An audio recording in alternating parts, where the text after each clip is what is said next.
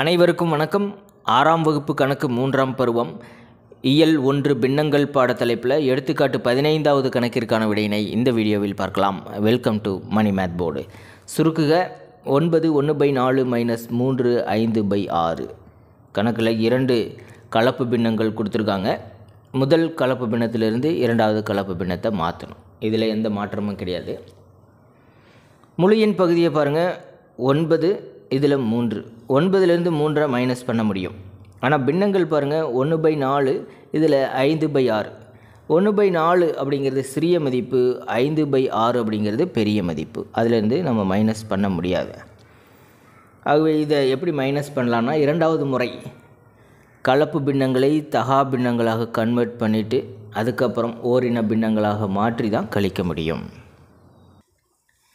எப்பயுமே இந்த இரண்டாவது முறை தான் பெஸ்ட்டு கலப்பு பின்னங்களை தகா பின்னங்களாக கன்வெர்ட் பண்ணிவிட்டு அதுக்கப்புறம் மைனஸ் பண்ணுறது இப்போ பாருங்கள் ஒன்பது ஒன்று பை நாலு கலப்பு பின்னத்தை தகா பின்னமாக மாற்ற.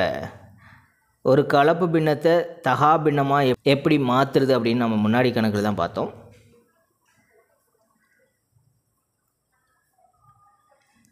இது பகுதி பகுதியையும் மொழி எண்ணையும் பெருக்கிக்கணும். நாலு ஒன்பது முப்பத்தி ஆறு தொகுதி கூட ஆட் பண்ணிக்கணும். முப்பத்தாறு ஒன்று முப்பத்தி ஏழு ஸோ முப்பத்தி ஏழு பை நாலு. இரண்டாவது கலப்பு பின்னம். மூணு ஐந்து பை ஆறை தகா பின்னமாக மாற்றிக்கலாம் தகா பின்னமாக மாற்ற நமக்கு என்ன கிடைக்கும்? சேம் அதே தான் பகுதியையும் மொழி எண்ணையும் பெருக்கணும். பெருக்கணும் ஆறு மூணு பதினெட்டு. பதினெட்டு கூட அஞ்சை ஆட் பண்ணிக்கணும். தொகுதியில் என்ன இருக்கோ அதை கூட்டிக்கணும். பதினெட்டு ஒரு அஞ்சு இருபத்தி மூணு இருபத்தி மூணு பை ஆறு. இரண்டு கலப்பு பின்னங்களையும் தகா பின்னங்களாக மாற்றி இப்போ கழிச்சிக்கலாம் முப்பத்தி ஏழு பை நாலு மைனஸ் இருபத்தி மூணு பை ஆறு. பகுதி பாருங்கள் வெவ்வேறு எண்களாக இருக்குது ஸோ இது வேற்றின பின்னங்கள். ஓரின பின்னங்களாக மாற்றணும். சமான பின்னங்கள் கண்டுபிடிக்கலாம். அப்படி இல்லைன்னா மீசிமா கண்டுபிடிச்சி கழிச்சிக்க முடியும். நாலு மற்றும் ஆறின் மீச்சீமா கண்டுபிடிக்கணும். மீச்சிறு பொது மடங்கு. பாருங்கள் இரண்டால் வகுக்கலாம். இரண்டு மூன்று அப்படின்னு கிடைக்கும். இப்போ பொது வகுத்தி எதுவுமே இல்லை. ஸோ இது எல்லாத்தையும் பெருக்கிக்கணும். எல்லாத்தையும் பெருக்கணும் ரெண்டு பெருக்கள் ரெண்டு பெருக்கள் மூணு. ரெண்டு ரெண்டு நாலு நான் மூணு பன்னெண்டு. ஆகவே நாலு கமா ஆறின் மீச்சீமா பன்னெண்டு. இப்போ பன்னெண்டு அப்படின்னு இந்த இடத்துல வச்சுக்கிட்டு தொகுதி மற்றும் பகுதியை மூன்றால் பெருக்கினா தான் பன்னெண்டு கிடைக்கும் இல்லையா? ஸோ முப்பத்தி ஏழை மூன்றால் பெருக்கணும். மூணால் பெருக்கினா இருபத்தி ஒன்று மீதி ரெண்டு பதினொன்று நூற்றி பதினொன்றுன்னு கிடைக்கும். இரண்டாவது பின்னத்தில் பாருங்கள் பகுதி ஆறுன்னு இருக்குது ஆறை ரெண்டால் பெருக்கினா தான் பன்னெண்டு கிடைக்கும். ஸோ இருபத்தி மூணையும் ரெண்டால் பெருக்கிக்கணும். ரெண்டால் பெருக்கினா நாற்பத்தி ஆறு. இந்த இடத்துல உங்களுக்கு புரியலன்னா இன்னொரு முறையில் போட்டு காட்டுறேன் பாருங்கள் முப்பத்தி ஏழை பகுதி மற்றும் தொகுதியை மூன்றால் பெருக்கினா தான் பன்னெண்டு கிடைக்கும். எதுக்கு பன்னெண்டாக மாற்றணும்னா இந்த ரெண்டு எண்களின் மீசியமாக பன்னெண்டு ஸோ பன்னெண்டு வர்ற மாதிரி தான் நம்ம மாற்றணும்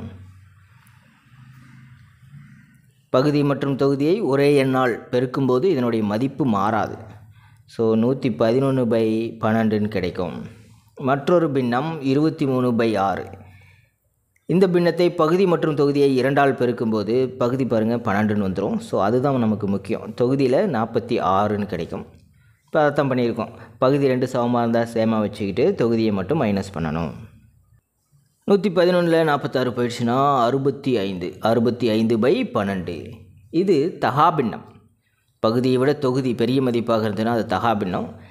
தகா பின்னத்தை கலப்பு பின்னமாக மாற்ற முடியும். ஏன்னா நமக்கு வினாக்கள்லேயே கலப்பு பின்னம் தானே கொடுத்துருந்தாங்க.